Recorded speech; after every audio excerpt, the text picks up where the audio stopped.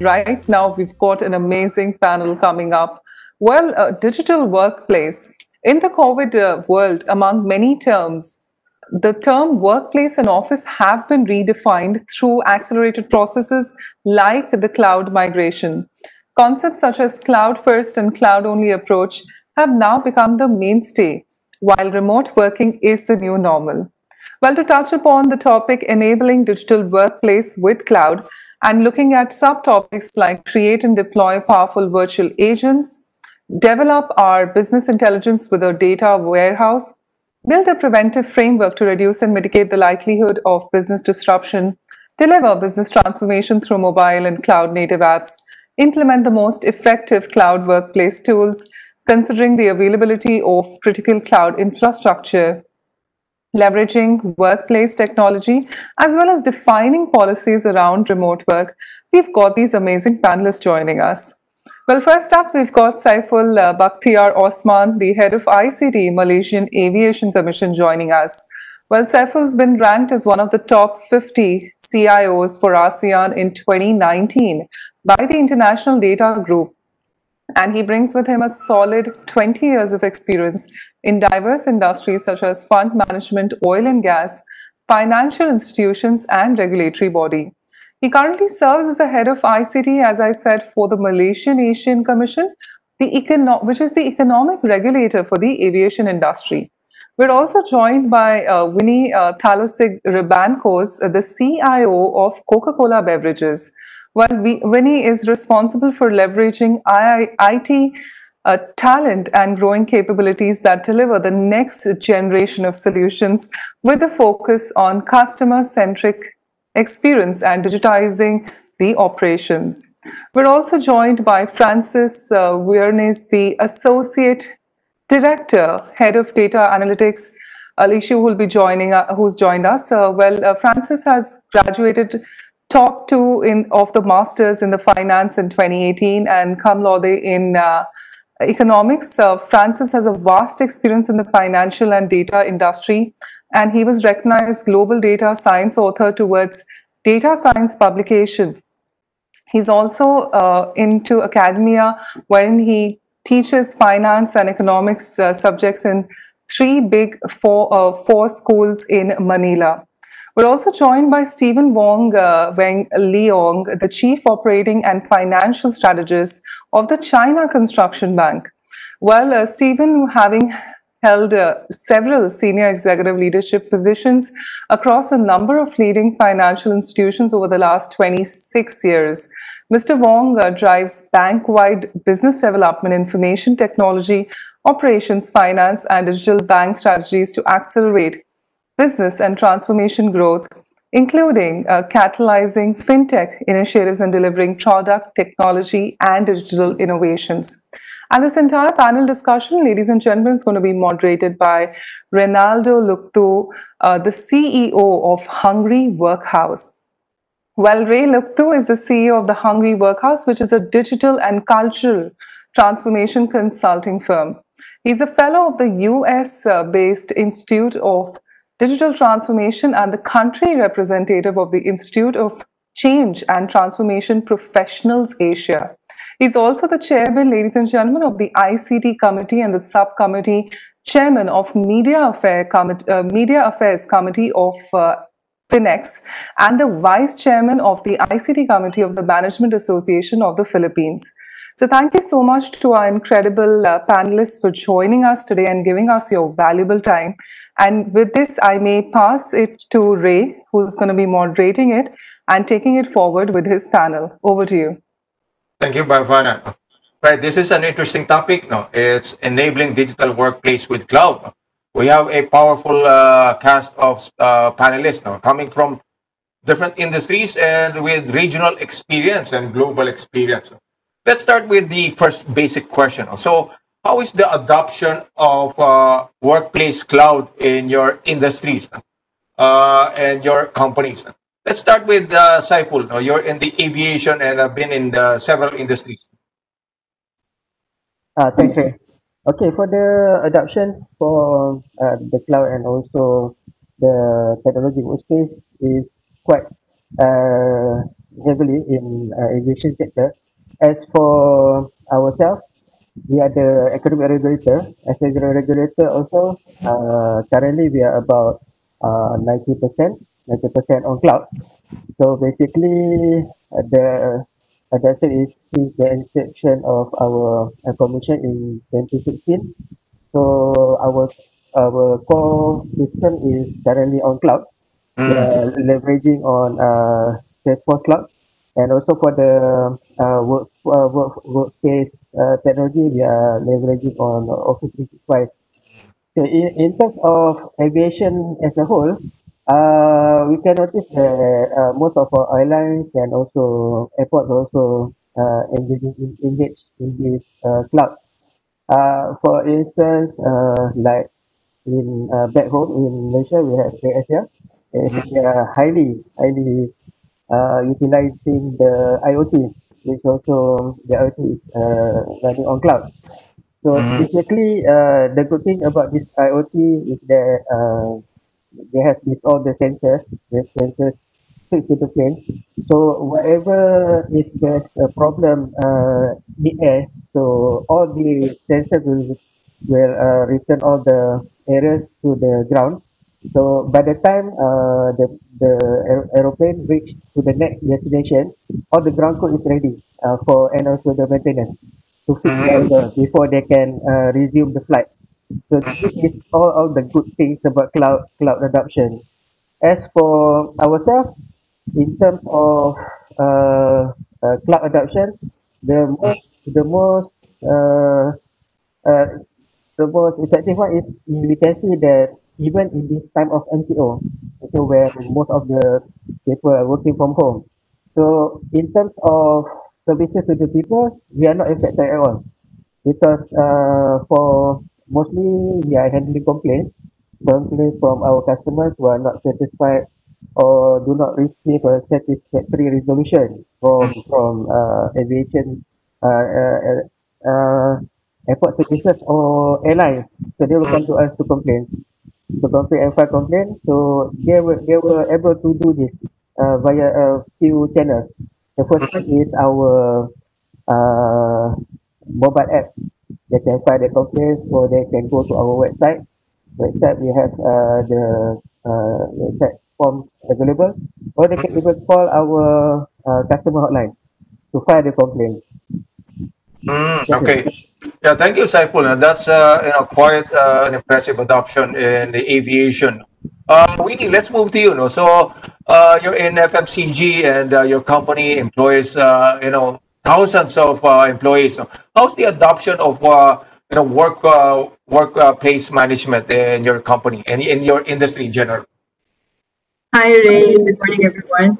I think um, it's funny that in the in Coca-Cola we started cloud cloud adoption mainly because of business continuity. Mm, And because you are Filipino, you would know that the Philippines would be faced with several calamities. mm, Earthquakes, there would be typhoons, um, and just recently we've had some, so many of them. I think the the main cloud cloud adoption um, initiative that we did is because of uh, fault line where our data center was, and then that paved the way for us to think about business continuity and how do we make sure that even this thing, this calamity happen in the in the area of Philippines, at least we are uh, we are backed up when the pandemic came, because we already have put everything in the cloud, when the pandemic came, it just became so natural for our employees to be digitally available and dispersed without any issues. So mm, everyone was working on day one when the government um, initially announced that, that there's going to be a lockdown. On day one and in just a matter of like hours we were able to get everyone in the company first and not worry about uh, security not wor- not worry about them being not being able to access all our applications. So the cloud adoption has been pushed to us by natural calamities including the pandemic including the the situations or the geography that we are in mm, interesting, Winnie. So yeah, wide adoption as well. No? So there's there was a meme that uh, uh, ask the question: Who drove? Who led your digital transformation? Is it the CEO? Is it the CEO, or is it COVID? so there's a truth in that. COVID and the typhoons and the earthquake. Yes. Yes. So yes, especially in the Philippines, no, we are, Yes. uh, you know, calamity stricken. Francis, no, in uh, real estate, no, real estate is, uh, uh, you know, uh, in many reports, it's badly hit because of the pandemic. You know, how are you uh, coping, and how is cloud helping you uh, in your workplace? Uh, place? Great. Uh, thank you for that, Ray. That's actually a very uh, relevant question right now. Um, real estate has always been viewed as one of the few industries to migrate last because, well, it's really dealing with tangible, like uh, tangible products. And um, well, for real estate, if you could, uh, well, one of the key factor there in order for you to buy is that you need to see the place. So it's it, it, there's really an air of personal relationships when you are dealing with real estate. Um, but uh, to add for uh, for how we're dealing with that, uh, uh, we also echo the um, we're concerned of Winnie because in the Philippines, we're also in the Philippines where there's a lot of typhoon, and actually we've just experienced one right now, right? So. Um, and this is actually not just a question for us, even for the schools. So the schools are also uh, announcing the uh, um, what you call uh, suspensions despite the fact that they're not meeting already right? So uh, one one aspect was business continuity where of course if something happens to a particular place because we all know that internet connections are not really as equal um, then uh, we need to be able to carry on work. But in terms of the other, for the most relevant one, it's also about uh, carrying on not just business continuity, but also just continuing uh, work uh, as normal. So in the new normal. So one is for research, for example. So we're gonna have to find a way to validate the data without us just sending, uh, let's say, uh, Excels all throughout. And uh, the third one is, say, for if you're a broker, um, you're gonna have to find a way to make sales. So right now, the 3D virtual um, what you call this uh, showrooms are already being implemented and the VR technologies have increased so much that right now actually just a span of two quarters we can actually see more sales or the real estate actually uh, uh, well being awakened again because of this uh, adoption so those are the key trends that i see in real estate Mm, right. Okay. Thank you, Francis. Stephen, no, in your industry, no, highly regulated. Uh, you know, what can we learn from uh, you know your company uh, in terms of uh, cloud adoption specifically, and uh, you know generally, you know, what's the cloud adoption in your sector? Thank you, Ray. Um, I guess uh, you have rightly put it that the banking and financial services sector is the most regulated and most stringent in terms of any type of uh, you know uh, cloud implementation.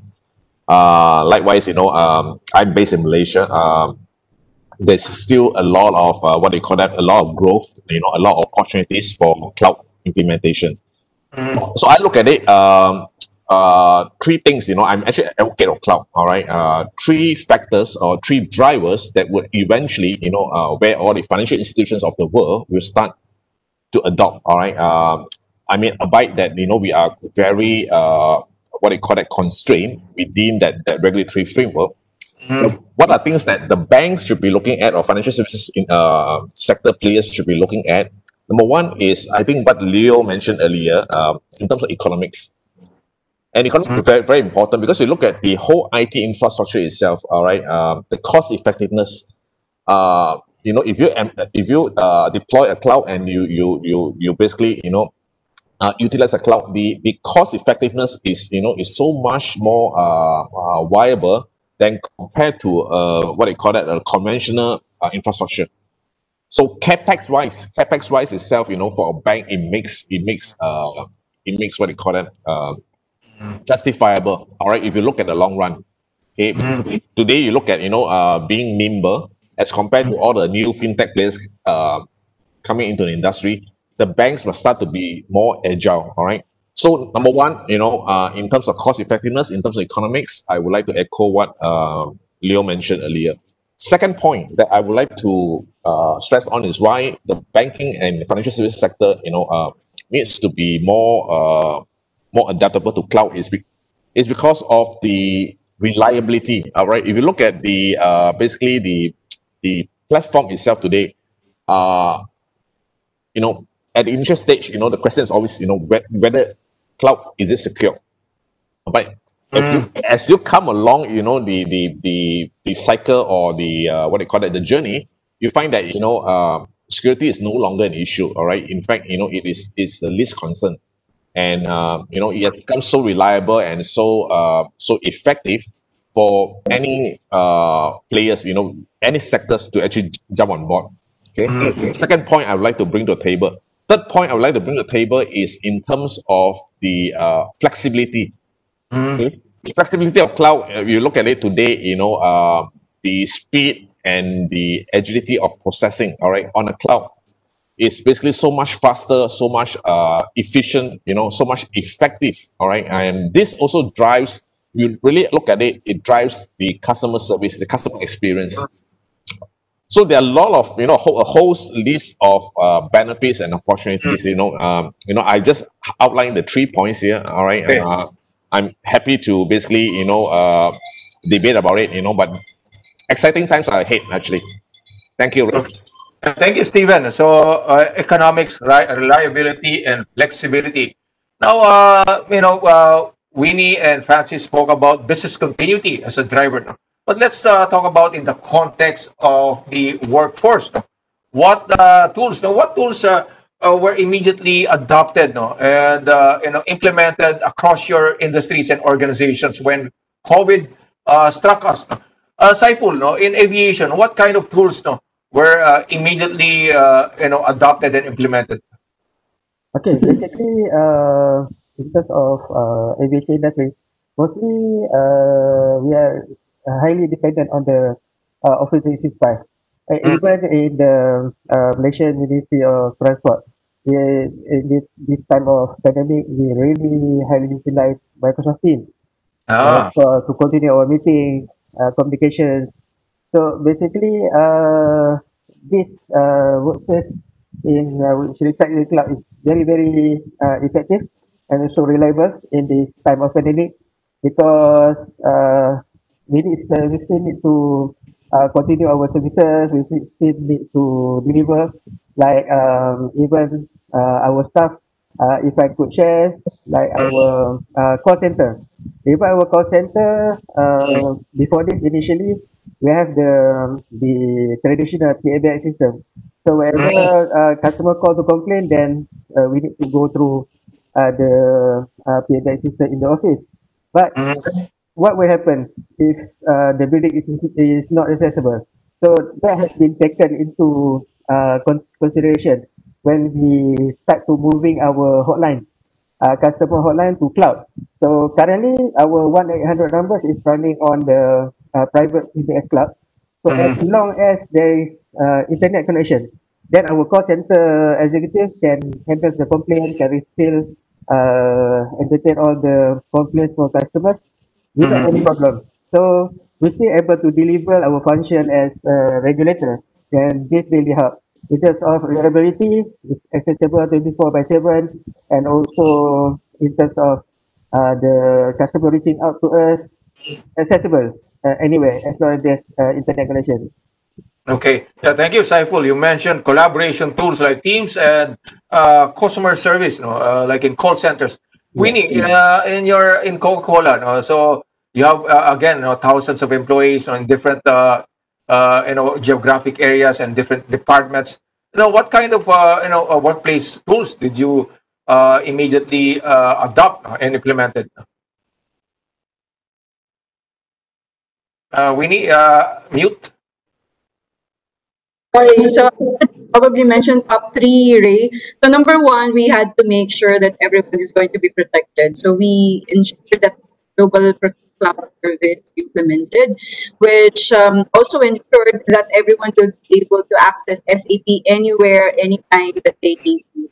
So it was um, it was actually a very promising adoption because everyone else thought that SAP could just be accessed via VPNs or via internal network. But when we uh, gave them GPTS. Everyone was able to do that. Second, in terms of collabor- collaboration, I agree with Saiful. We are also a Microsoft company, and we have engaged with. Um, we have a very good uh, relationship with Microsoft. So there was the productivity tools that we have with them, the team. Yammer, anything that could engage everyone in the workforce. We are even um, doing some engagement and well-being over teams. So a lot of those happening.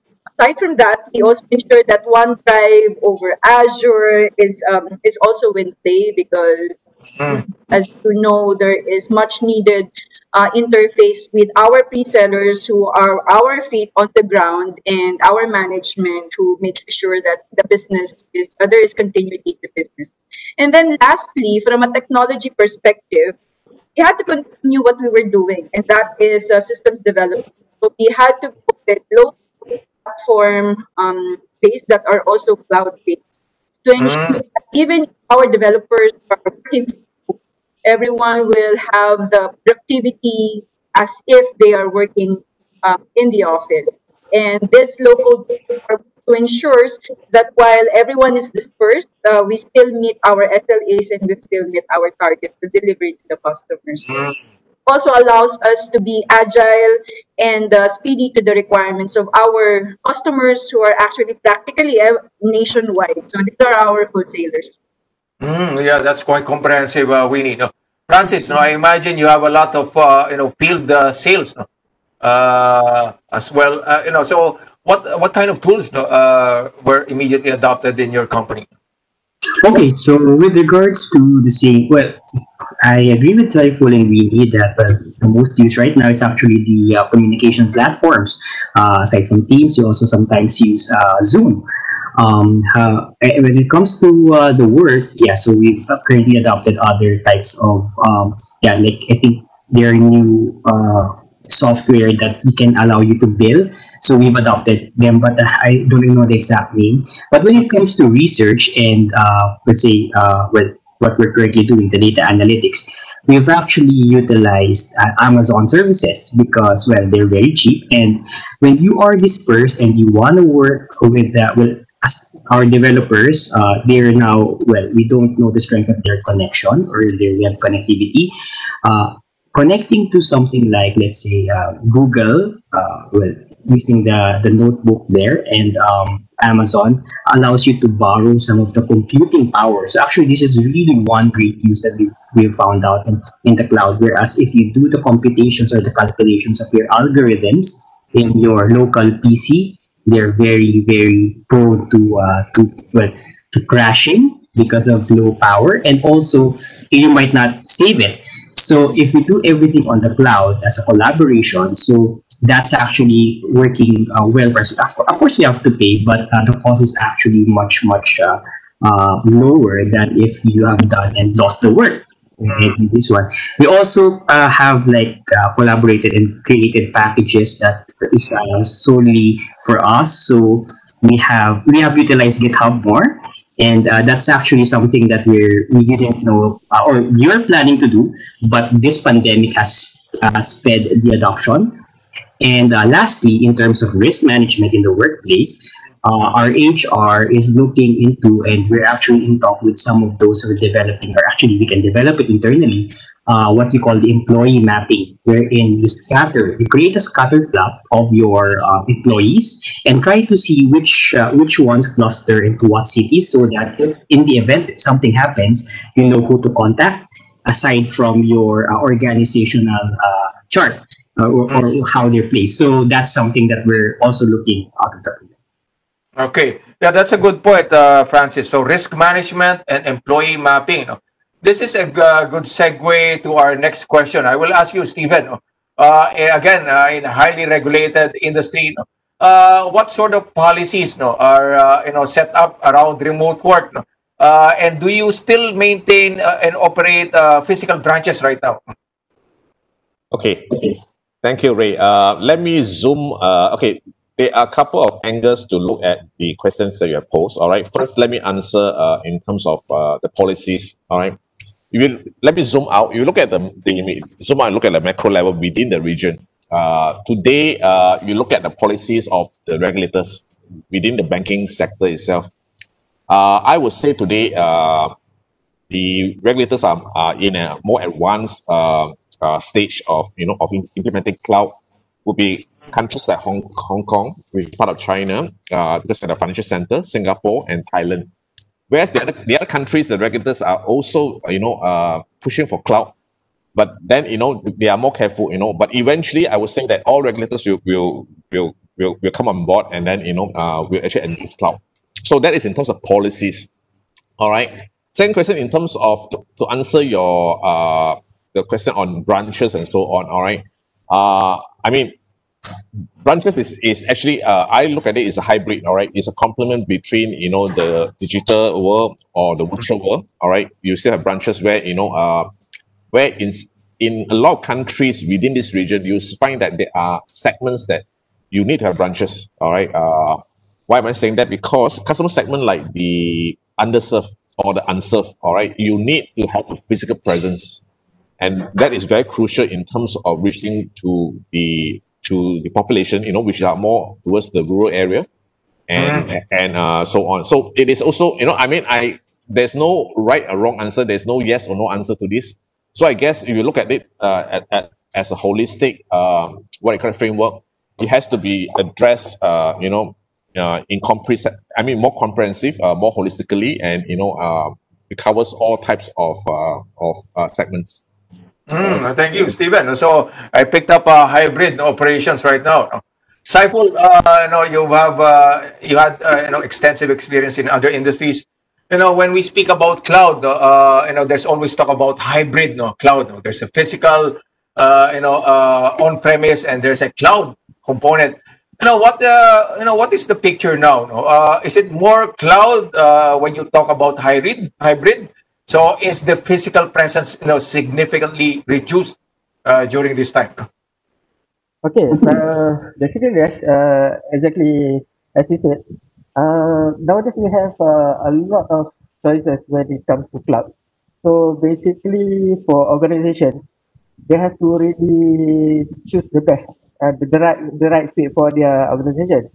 The, uh, the decision whether to have it uh, totally on cloud or to have a hybrid, uh, uh, a mixture of on-site and also uh, cloud.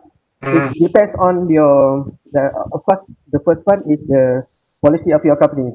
The second one is uh your uh, the, the direction the direction of the business. Kan, uh, if you want to go all out to the cloud yes we have so many uh, services nowadays that are provided by the cloud we have the software as a services we have the hardware as a services. So it really depends on the the uh, so uh, uh, the uh, the risk that they are taking. So the direction of the business and also uh, uh, the expenditure how much they are willing to spend. So they have to really know the right fit for the organization because uh, no point if you spend so much by having everything in the cloud but the utilization is very low so it's uh, it's going to be uh, double-edged sword so if you are spending too much for cloud but uh, have a low, very very low utilization, so of course the CIO will be answerable. So uh, brilliant. So uh, the, the the the the important thing is to have the right fit for your organization. Mm. Okay. Uh, yes. Uh, so, Winnie, how about in your organization? So, uh, is it more mainly cloud now? No, have you uh, totally eradicated the physical uh, on-site infrastructure? No, we are not really. It's still hybrid, Ray. I think there is still a need for us. Um, in, in specifically, our infrastructure is not that good when it comes to internet. no? So we still have sites in Cebu. We still have uh, sites in other locations that cater to these needs. But majority, I would say that we are already seventy percent on cloud um, making sure that majority of our applications not just reside in our perimeter but also in other uh, providers and that is to also ensure that there is going to be business continuity Ah, okay. That's great practice. No? Francis, no, uh, Winnie mentioned about our challenge in uh, internet infrastructure. No, uh, in your case, no, because you have field uh, sales. No, how uh, know what kind of uh, applications, mobile applications that use the internet, uh, uh, do you use, and do you encounter this challenge no, of internet infrastructure? Uh, yeah, thank you for the question. Yes, uh, actually, uh, we, we do experience uh, some some problem with that, but, but on a wide scale. Um, so we're still hybrid, so, and uh, a lot of our deals are still happening in the office because uh, even though there's pandemic, um, if you have real business, uh, well, real estate, you really would want to meet people, right? So there's still people going into the office, and they're more than just a skeletal workforce. Uh, but in terms of the mobile, we actually uh, use just the uh, well for, for reporting uh, because you cannot report on printed paper right now or your analysis is dispersed. Um, so we create online app for dashboards, for example. So uh, Microsoft Power BI, that's the easiest one to, to utilize. So uh, that one we show to our clients, and uh, they're easily uh, well, they're interactive now. Um, and uh, I guess well that on top of the other uh, social uh, media app. So that's it. That's it. Okay, so dashboards, no, and business intelligence. So our last points, no. So we'll ask you, panelists, the last question. What is your prospect, uh, Steven, uh, when it comes to you know to uh, cloud adoption, uh, you know, technologies no, and applications? What's going to be the prospect in the near future, no, post COVID? Will the world be more cloud? Uh, you know, will you know industries be more open, Steven?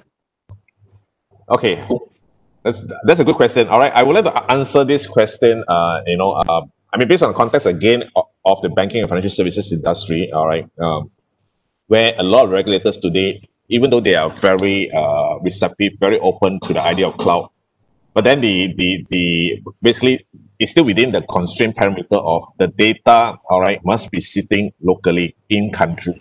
All right, uh, whatever it is, you know, uh, it is still the financial uh, the financial transactions and the and the information all this you know it cannot basically uh, uh, it has to stay within the country. So i so i look at it um uh, as i mentioned earlier in in in what i mentioned earlier the opportunities is is a plenty. We should be looking at it you know a gradual migration of of of data into cloud all right it's not one you know it's just not one lock stock and barrel and then everything put on cloud. It's you know gradually start with non-sensitive inf- information all right and i mean for the banking industry start with non-sensitive information and then from there gradually you know as you uh, embrace the security you know as you can see now the security via the cloud is so much more secure so once that that that uh, that journey has matured, then you'll find that you know the cloud will be the future. All right, it will replace the the the legacy infrastructure. It will be uh, you know uh, you know we are just looking for more cloud adoption in every sector, every industry, every segment. All right, that Okay, so more Yeah. cloud adoption, uh, Saiful, no, your short uh, prospect of the future. Uh, what can I say in terms of uh, aviation industry? Yes, uh, we'll see a lot more cloud coming in. So of course, with uh, the adoption of IoTs, the cloud will be a huge, uh, huge uh, help for the the adoption of uh, IoT. So, but uh, but um, the way I see it is this uh, pandemic is really a blessing in disguise. But because before this, we have all the head of IT say, oh, they have difficulty to get the management approval for budgets and everything. So it's like this, uh, this uh, this pandemic, everything is now clear uh, to the management. Why we, why do we, uh, they need to invest in technology? So this is the, the right time uh, for all uh, IT people to seek uh, to improve their infrastructure. Need to engage in cloud to improve their uh, availability, the continuity of the business, and at the same time uh, to help the uh, company to regain a competitive uh, advantage in event of disaster. So that's um, in uh, my company. It's something the, the principle that we say that is something where uh, before we engage in, in terms invest in, in any system in cloud or in, in any initiative, uh, the basic principle is something that we can break. BREC. So Okay. be uh, it must uh, bring value to our stakeholders. And, Okay. uh, it, it has to be uh, the right fit for organization. So A is something that uh, align with the business direction and strategies. And last but not least, G is something that uh, generates the work and life balance and beneficial to our staff. Okay. aspect is also very important. All right. Yeah. So uh, I think we have uh, we have had a, a great discussion here, no? and we are, uh, you know our time is uh, limited, no, but it has been fruitful, uh, fruitful discussion, uh, everyone. No? Uh, so cloud is here to stay, no, transforming businesses, no, and I'm happy to know that the speakers are, you know, uh, implementing and promoting cloud uh, in their respective industries and companies. Thank you, everyone. Thank you, Stephen, Saiful, Winnie, Francis. Back to you, Bafana. Thank you. Thank Thank you so much. Thank you so much, Ray, Vinny, Steven, Francis, and Saiful. Well, it's been a very engaging conversation, and it just uh, uh, went on with such an expansive length of knowledge coming from all of you. And what a great way to have such an incredible panel joining us on the World Cloud Show. So, once again, on behalf of Trescon, I'd like to thank you for joining us today. Thank you. Thank you. you. Thank you.